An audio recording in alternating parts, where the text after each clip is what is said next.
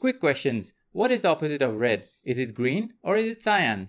Do you think luminosity and brightness are the same thing? Which do you think is heavier? What do you think is the difference between tint, shade and tone? And why is the letter K used for black in CMYK? Hey, my name is Sid and in this video I'm going to demystify the language of color and help you take absolute control of it in Photoshop.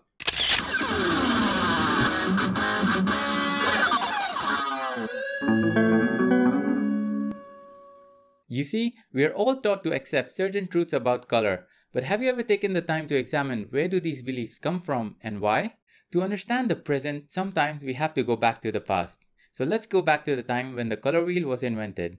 Back in the 17th century, when a plague broke out in England, a young man made several discoveries while still under quarantine as his school was closed. Although his laws of gravity, motion or calculus may not be of great importance to us as artists, his discoveries in the color spectrum is still the foundation of today's color wheel. Yes, I'm talking about Isaac Newton. Taking a prism, he held it up against a slit on his door and projected the beam onto a piece of white paper. His experiments led to the theory that red, yellow, and blue were the primary colors from which all other colors are derived.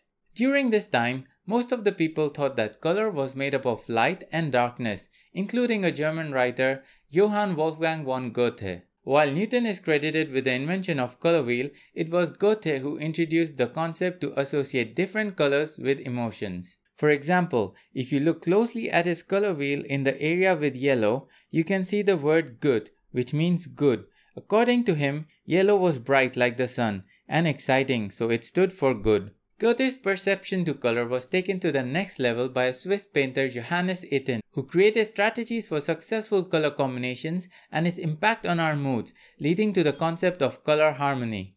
And interestingly, Goethe's color wheel is still used to this day to create color harmonies. Now let's see how the modern color wheel came into existence. In the 18th century, a German painter Jacob Christoph Le Blon invented a three-color printing process to create imitations of his paintings. He thought he could combine the primary colors of the traditional color wheel, that is red, yellow and blue, to make full color prints, which he did, but the mixture of all three colors was a muddy brown and not pure black. So to add some punch to the darker shades, he came up with the four color process printing, in which the fourth color was black, and this also helped him cut costs for the rest of the dyes. Now what is interesting is that his original color model RYB became RYBK, where K is for black. Also, K stands for key, as in the key plate that was used to align all other three plates during printing. Since the letter B was already taken by blue, black was denoted by the letter K to avoid confusion. Over the years, the blue and red inks were tweaked to a certain process blue and printer's red to provide a larger variety of tones. And even though the ink colors changed,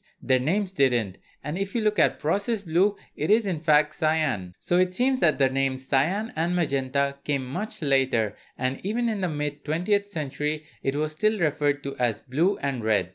And even now, if you take a printout of cyan and show it to a non-art related family or friend, guess what their answer will be? Blue, right? So we might never know the true origin of CMYK. Now with the invention of color displays, Red, green and blue were chosen as the primary colors as they matched the three color sensitive cones in the retina of the human eye.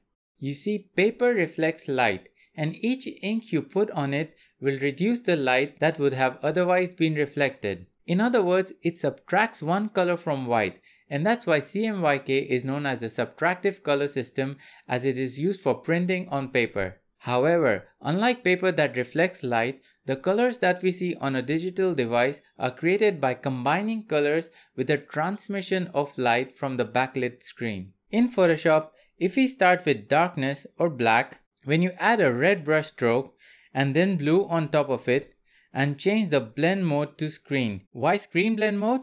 The name says it all. It adds colors to create new colors, the way display screens do. And if I create another layer and add green on it, as soon as I set the blend mode to screen, we get white, where the red, green and blue colors mix. That's why RGB is known as the additive color system. Take a look at this image for example. You can see I have separated it into three layers. First one is red, second layer is green, and then blue.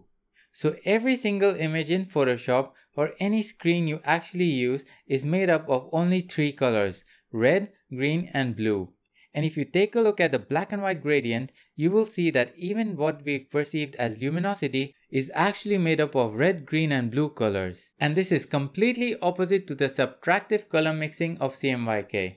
To do any color correction in Photoshop, you will have to memorize the RGB color wheel, where red is opposite of cyan, green of magenta, and yellow of blue. This is also known as the CMYK color wheel because CMYK predates RGB by many years, but it's one and the same thing. So which color wheel should we use to create color harmonies?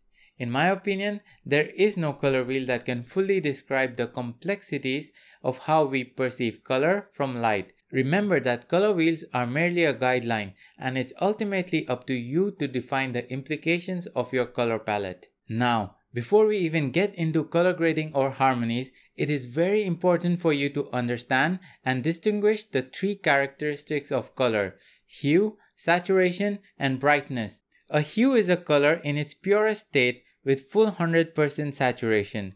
Hue is generally what we refer to as the name of the color. So red, orange, blue and green, these are all hues. Also, did you notice the hues are labeled by degrees? This is because they correspond to their location on the circular color wheel. When you bend the spectrum of colors into a circle to join the red ends, what you get is a color wheel. Hues can produce different colors when it's tinted, shaded or toned. Adding white to a color is known as tinting, so any color that is lighter than the original hue would be its tint. Adding black to a color is known as shading, so we can get a variety of shades of a hue when mixed with increasing amounts of black. Adding gray to a color is known as toning. This is used to desaturate a hue.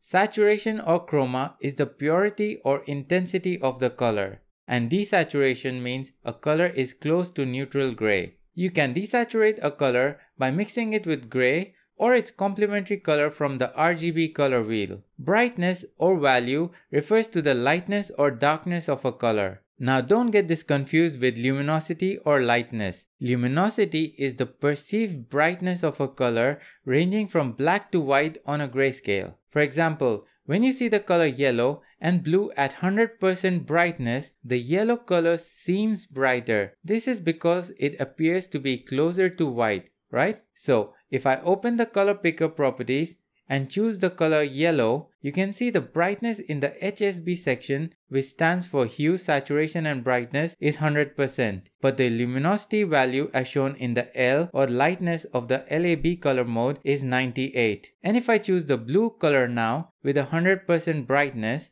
the luminosity value is only 30. This is because our eyes perceive their brightness to be different, which is shown in the luminosity. Take a look at the tonal values provided below each color even though they are at 100% brightness.